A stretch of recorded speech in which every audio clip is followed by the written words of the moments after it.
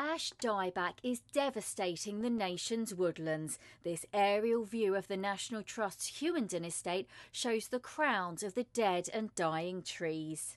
What we've got here is a young ash tree that has got lots of the lesions on it, and you can see one just down here. And it's a sort of diamond shape down the stem, and that's a clear sign that this tree is infected with ash dieback. Ash dieback is caused by a fungus. The spores are windborne, so it spreads quickly and easily, and there's no cure. Infected trees can become brittle and shed limbs or fall. That's why the National Trust is embarking on a removal programme set to cost several million pounds. It's cash it can scarcely afford after losing more than 100 million due to the impact of coronavirus all these young ash trees here are going to have to be felled under the National Trust's programme, along with at least another 400 here at Hughenden and another 40,000 nationwide.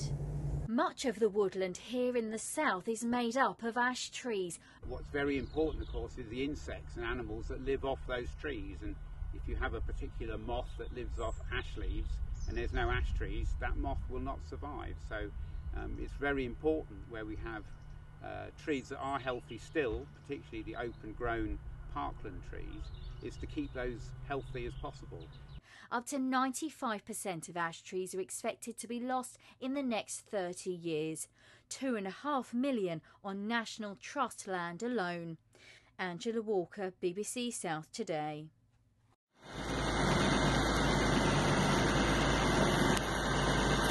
This is the uh, result of the ash dieback.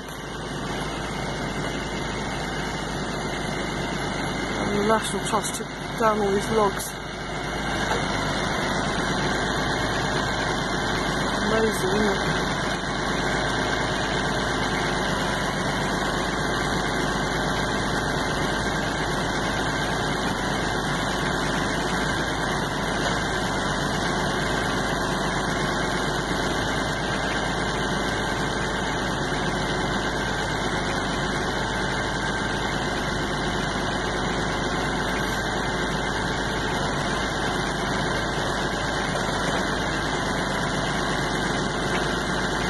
those big grabbers at the fairground.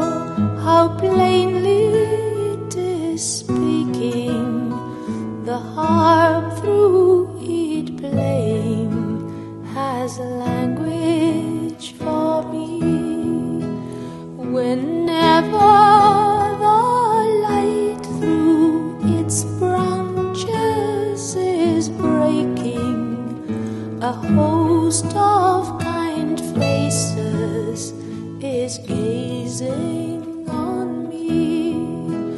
The friends of my childhood.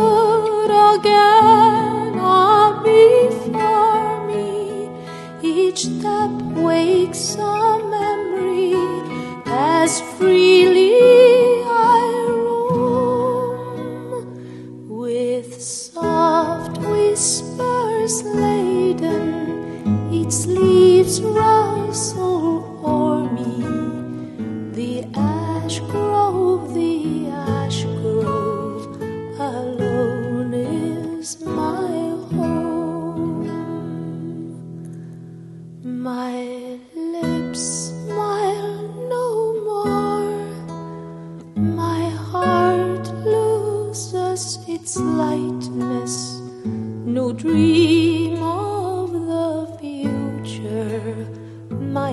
Spirit can cheer.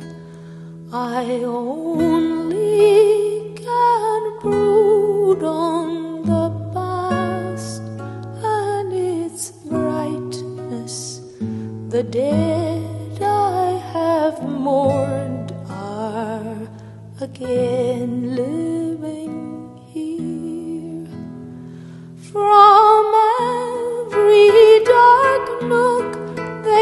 press forward to meet me.